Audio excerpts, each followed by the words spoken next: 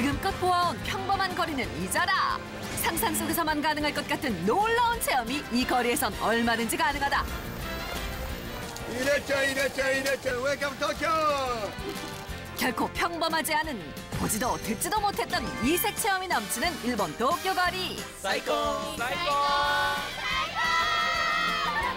특별함이 있어 더욱 끌리는 그곳으로 지금 출발! 한국에서 비행기로 2시간여 거리에 위치한 일본의 수도 도쿄. 인구만 해도 1200만 명에 달하는 커다란 도시인 만큼 개성 가득 곳곳에 매력이 가득한데 잘 알려진 관광 명소부터 아는 사람만 안다는 좁은 골목까지 도쿄의 거리엔 특별한 뭔가가 숨어 있다. 어라? 그런데 이들의 정체는? 자세히 보니 게임에서 보아온 친숙한 캐릭터 복장인데 그들이 향한 곳은 장난감 자동차? 아니 경주용 자동차?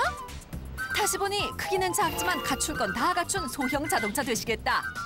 日本で有効な免許証を持っている方しか乗れませんので例えば外国の方でしたらあの国際免許証などが必要になります 자동차 면허증이 있어야 운전이 가능하다는 소형 자동차. 외국인도 이 작은 자동차가 신기한 모양인데 I'm very excited for doing Mario Kart, something I've always wanted to do. And uh, yeah, so I'm looking forward to a good time. I am feeling absolutely great. I am ready to ride. 설레는 마음을 안고 출발 대기 지점에 선 사람들. 드디어 출발! 이 소형 자동차의 묘미는 바로 실제 도로 위를 마음껏 달릴 수 있다는 것.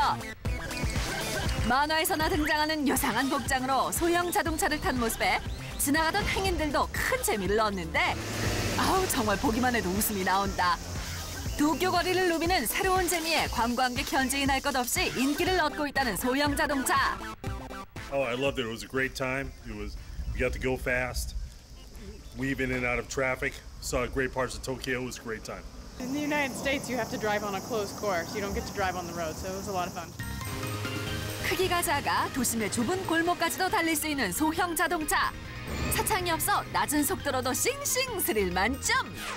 커다란 관광버스로는 즐길 수 없는 이색 관광 체험까지 덤으로 즐기니 안전운전만 한다면야 이보다 더 좋은 여행이 없을 것 같다.